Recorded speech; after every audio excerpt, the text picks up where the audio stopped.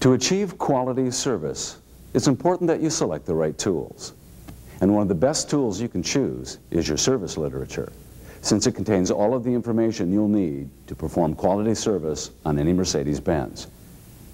But like any tool, an understanding of how to use it properly is the first requirement. Now, if you're familiar with the one model year, one model, one manual workshop literature, you may be wondering, well, what's there to explain? With that system, if you're working on a 1992 Oldsmobile Cutlass, for example, you would refer to this one manual. And everything related to service, diagnosis, or repair would be found in here. Now this type of literature system is convenient in that everything is found in one manual. But there are two major disadvantages. One is that a lot of shelf space is needed to store all of the manuals as the years go by, and more importantly, these manuals are bound which means that they're frozen in time on the day that they're printed. So any changes, such as modifications made in production or new diagnostic procedures, are not in the manual. So Mercedes-Benz doesn't use the single bound manual system. You won't find one manual that covers service, diagnosis, and repair on, for example, a 1994 300E. Okay, so the bad news is that there's a learning curve involved with using the Mercedes workshop literature. It's not difficult, but it's not as simple as going to a single manual for everything. The good news is that in total, there are far fewer manuals involved, and the manuals are not bound and frozen in time, but they're ring binders that are updated with supplements, or microfiche that are simply replaced as necessary.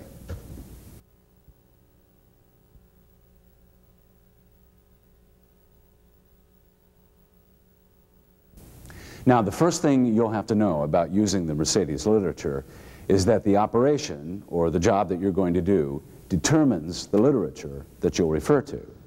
And the literature is designed according to the principle that there are three types of jobs that technicians perform. First, there's basic service maintenance, such as replacing the fluid and filter in an automatic transmission. Then there's repair, such as rebuilding a damaged automatic transmission.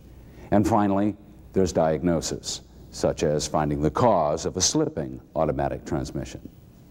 So let's take a look at the Mercedes literature system and see how it relates to these three jobs, maintenance, repair, and diagnosis. We'll begin by briefly identifying where the information is found. Maintenance is easy, since there are only three manuals involved, and each manual covers a production period. Repairs are on microfiche and are found in the Service Microfiche System binder. Using microfiche makes it possible to fit thousands of pages of procedures into this one binder. And diagnostic procedures are found in this series of manuals, which are called diagnostic manuals. Let's take a closer look at these three major literature sources, starting with the maintenance manuals. When you're dispatched a job that involves a scheduled maintenance, a maintenance sheet should be included with the repair order. The maintenance sheet identifies the operations that are required, which are determined by the mileage or by the time interval. Now, the first service done on every Mercedes is an inspection service done only once on all vehicles after an initial break-in period of 3,000 miles. Afterwards, lubrication services are performed at specified intervals depending on model and model year. And these are basically an engine oil and filter change with a few minor additional jobs. And finally, major maintenance services are performed at 15,000 mile intervals. They involve a major inspection and service of the vehicle. At specified maintenance services, additional jobs are required. Now these jobs are dependent on the time or the mileage, and they're highlighted in the shaded areas on the form, such as replacing the brake fluid every two years, or additional jobs that are performed every 30,000 miles. Depending on the policy in your shop, these additional jobs will be noted on the RO or possibly identified directly on the maintenance sheet. Now let's take a look at how the maintenance sheet and the maintenance manual tie together. And that basically involves this column with the four-digit numbers. For example, Engine oil and filter change is job number 0101. A complete description of that job will be found under that number in the maintenance manual. And saying that a complete description is included is not an overstatement. Looking through the job, you'll find filling capacities, special tools required, the oil viscosity to use dependent on ambient temperatures, and of course, how to do the job. The maintenance manual is an excellent technical reference, in particular for the technician who is inexperienced with Mercedes-Benz. So as you can see, the maintenance manual and maintenance sheet are an effective and simple reference. So now that the concept of a maintenance manual and worksheet for performing maintenance is understood, it's only necessary to take a quick look at the supporting literature for performing a pre-delivery inspection prior to retail delivery of a new Mercedes. The same principle applies. A pre-delivery manual and check sheet ensures that all of the information required to perform a complete pre-delivery inspection is readily available and easy to use. Instead of job numbers, as used in the maintenance literature, the PDI check sheet is divided into different parts, such as an underhood inspection. And the manual follows the exact sequence of the PDI sheet, which makes it a simple matter of following the manual and checking off each operation on the sheet as it's performed. New models and changes to existing models will eventually make the manual obsolete. A new edition will be provided as necessary.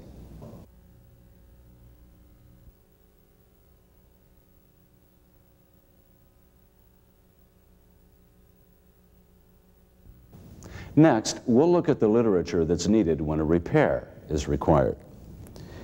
As mentioned previously, Mercedes puts repair procedures on microfiche. And since there are a few hundred repair fiche, the first thing necessary is an understanding of how to find the one you need. So let's use an example of how that's done. This Mercedes is dispatched to you and the repair order states, replace left front window regulator. Well, you've never done that job, so you have to go to the book. Where do you start? Well, the first thing that has to be done is to identify the model. The badge on the trunk identifies it as an S350, but that's a sales designation, and the Mercedes service literature doesn't use the sales designation. The service literature uses the factory model designation to organize the information. That number is the first six digits of the complete factory serial number. And since that number is entered on the repair order, it's easy to determine. Also, if there's any need to confirm the number, you can always find the six-digit model ID on the factory-installed production plate that every Mercedes has. These three digits are the model designation. This number identifies the model, or as it's commonly called within the industry, the platform on which a series of different body types are built. The second three digits fingerprint the configuration of the vehicle and will change depending on the engine installed the number of cylinders, the body style, and so forth. All right, so now you have the model identification, but that's only half of what's needed to locate the correct fiche for replacing the window regulator. It's also necessary to understand the two-digit index system that Mercedes uses. In general, the system can be divided into three major parts, with groups 1 through 22 covering engine components and systems, while groups 25 through 55 cover various chassis-related systems and components, such as transmissions, axles, brakes, and steering, and groups 60 through 98 covering the body, which would logically include the window regulator replacement that you're looking for. Now, after a while, you'll become familiar with the group system as you use it, but in the meantime, this pocket reference card will be very useful to you. The card lists the group numbers, the systems, and major components assigned to each group. Now, you won't necessarily find, for example, the window regulator listed. You'll have to look for the major component that the part is associated with. The regulator is mounted in the door, and doors are listed under group 72, so that would be the logical place to look. Going to the microfiche binder, you'll find that the fiche are color-coded and organized sequentially by group number. Replacing the window regulator would be included in this group of green fiche titled Body Assembly Jobs. Next, the searches for the specific model, which in our case is the 140. And finally, the group number identifies the specific fiche. If you've only used printed manuals before and haven't used a reader, it's simple. The fiche is turned so that the color band faces you, and it's placed on the carrier. The index of jobs is located at the right front of the grid. Move the pointer to that location. Find removal and installation of the regulator. And the grid coordinates are listed in the column on the right. Move the pointer to these coordinates and you're ready to start the job. That's an example of finding a repair job in the service microfiche. The example used required a model identification since the job involved a repair on a body component, replacing a window regulator. But if an engine repair is involved, the model identification doesn't apply when you need repair information. That's because the same engine may be used in several different models. The engine identification number is needed instead.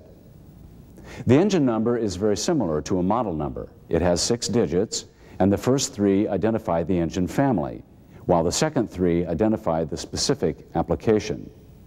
The complete engine identification number is stamped into all engines, but it can be a little difficult to see on some vehicles. Also, the engine number is found in different locations on different engine types, and in some cases, the vehicle may have to be on a lift to see the number. There's a second pocket card that makes finding the number on the engine unnecessary. With this card, you can use the model designation, which is always easy to find, to determine the engine installed. So for our S350, for example, we determine that the model ID is 140-134. First, model 140 is located on the card. Then the second three digits and the engine identification for the engine installed in that vehicle is listed in the engine column. So the engine in this car is a 603971. Several fiche may be provided for that engine, so just like the body fiche, refer to the group system card to locate the group number assigned to the system or component involved. For example, if the job is replacing a camshaft, the valve train is in group 05, and this fiche would be selected to perform the job. Before setting the repair fiche aside, it should be mentioned that all automatic transmissions are also given a three-digit factory designation number, which is 722, with three digits following to identify the application. The fourth digit identifies the version, and that's the number needed to select the correct fiche. The pocket card also includes the transmission version installed in each model. For example, our S350 has the version 3 installed. So the version 3 fiche would have the information needed. One additional point. You'll find two version 3 fiche covering different production periods identified by a date and an arrow. Whenever this is found on a fiche, select the one that covers the production date of the vehicle. If the arrow is in front of the date, it indicates through production date 888. The arrow after the date indicates beginning production date 988. Well, that's basically what you need to know to use the repair fiche. Like any tool, the more you use it, the more efficient you'll become at finding the information needed.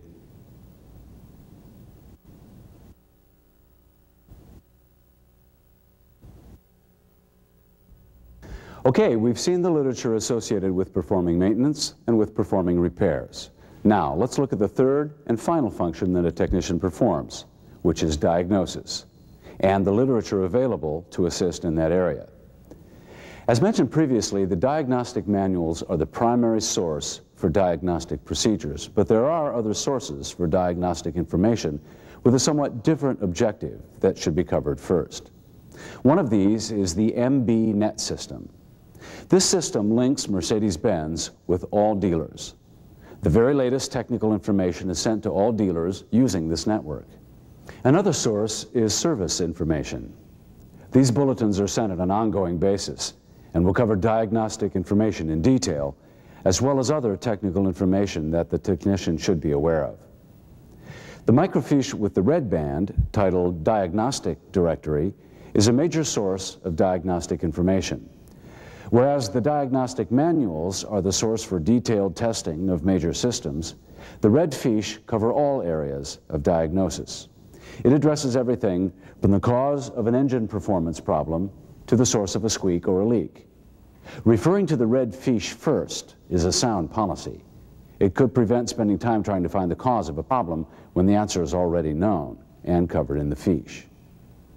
A final important point to know is that when the fiche is updated and mailed, a printed summary of the new or revised information is included, and it should be posted or circulated in the workshops so that everybody's aware of all the latest topics that are included in the new fiche. This publication, the Diagnostic Trouble Code Reference Guide, is a very popular diagnostic reference. It provides a quick and easy to use reference for retrieving trouble codes and includes all Mercedes that have provisions for diagnosis using an impulse counter scan tool. This manual covers connecting the impulse counter, lists the trouble codes, and provides instructions on erasing the codes. It doesn't include the detailed testing that the diagnostic manual includes but that may not be required in every case. This brings us to the major diagnostic reference, the diagnostic manuals. This set of manuals provides detailed testing and diagnosis for major systems. It covers Mercedes models produced from the early 80s up to the present. Since this is not a one model year, one model, one manual system, finding the information needed could involve some searching until you become familiar with the manuals. But that search is made easier by this document titled Your Reference. This was initially developed as a handout used to save time when performing shop exercises during training. Let's go through an example of how this is used to locate information in the diagnostic manuals. Let's say the repair order for R140 includes an entry that reads, right front seat does not move fore and aft. Your reference is divided by model, so the 140 section is referred to. Then the system is located. They're listed alphabetically. The manual that seats are found in is identified with a code number in bold type. In this case, it's Book 9. And the section in the manual is listed in the last column as Section 15.2. To find the title of the book that the code number applies to, refer to the front of the reference and we find that Book 9 is Volume 3. Body and Accessories Manual. The reference listed Section 15.2 in this manual. Turning to that section, you will find that an index page identifies Section 15.2, Part B, as Front Power Seats with Memory. And that's the application found in a 140. Let's turn to that section and identify a few key things that you'll need to know when using this set of manuals. The contents page indicates that this test program is divided into two major parts, diagnosis and electrical test program. These two major parts are divided into five smaller chapters. This brings us to the important part. The square in front of the number identifies that number as a chapter number. So we'll go to chapter 11 the function test, to look at how the testing is laid out. The first column is what you're testing. The arrow identifies that the number it's pointing at is a test step. That's obvious as used here, but you'll see why that's important to remember in a minute. The next column tells you what to do. The next column tells you what should happen if everything is okay. And the last column tells you what to do if the test failed. There are two columns, one for each front seat. We're not interested in the left seat. A square and number 23 are listed here, indicating that you must go to chapter 23 for further testing. An arrow and number are located after the chapter number, and it indicates the test step within the chapter that should be performed. In fact, diagnosing the failure in the fore-aft function of the right seat may require performing tests 24 through 28 in Chapter 23. So that's how you find your way around in the diagnostic manual. So that's basically it. And every manual has a summary of this and other information on using the manual at the front should you need to refer to it. Within the entire set of current diagnostic manuals, there is one exception to the information contained in them. Engines Volume 1 doesn't just address test programs. For example, Almost any specification that you can think of that relates to engine performance is found in Section A. We don't want to take the time now to cover everything that's in this manual. Take the time to look through it when you have the opportunity. To this point, we've covered the current set of diagnostic manuals. But there is a three-volume set of early manuals that your reference will send you to when necessary. If your dealership has the original set provided, they're this light blue set of binders. These binders are replaced by a universal binder with replaceable tags. In these three original diagnostic manuals, most of the test programs are preceded by a troubleshooting chart.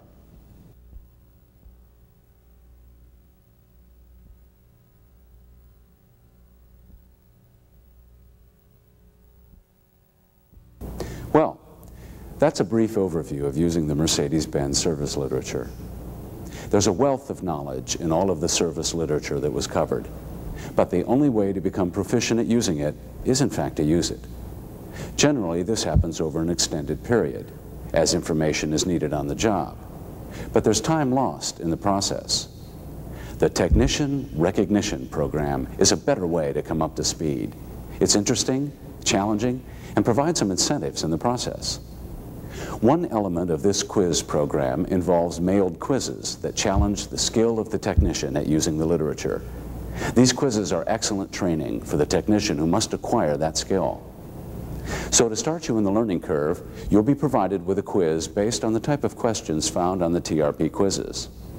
To answer the questions, you'll have to use the sources covered in this AV program as well as other sources that we didn't cover. Follow the instructions that come with the quiz. On successful completion, you'll begin receiving TRP quizzes which will improve your literature skills further. And one final point, we'll be using the literature extensively when you attend training, so you'll need a good working knowledge of how to use it when you arrive at the training center. Well, that's it. Get the quiz done as soon as possible, and remember, you're going to need that knowledge before you attend training. Good luck.